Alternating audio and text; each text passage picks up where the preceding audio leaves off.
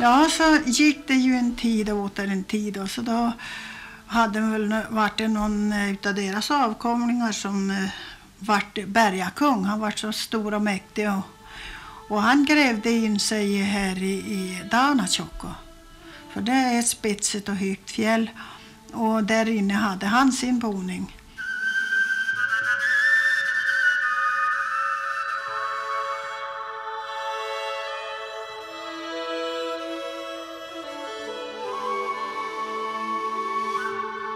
Och då han ville ha sig lite mat så strövade han omkring lite grann. Han brukar fara bort till Bäsksjön och, och ta lite fisk där på Bäsksjö.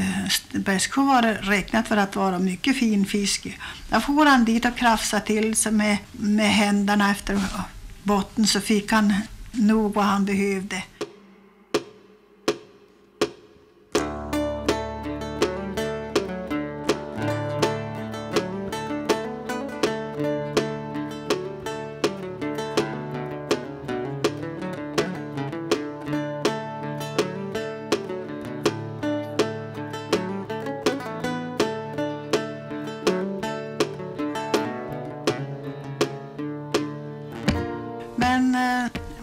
Fanns ju några små onda varelser där som bodde kring Bäsksjön där.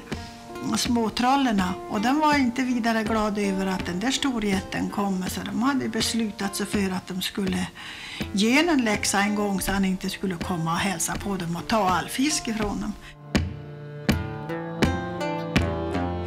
Då beslöt de att de skulle vässa sina klor så de skulle vara riktigt vassa. Så skulle de överfalla honom allihopa på en gång. Då skulle de väl kunna ta bukt på, på jätten. Och de rusade på na- så många som de någonsin fick plats. De kröp upp efter benen på något. Men jätten bara skrattade och stoppade min säck, bar hem dem och gumman och kokade soppa på dem.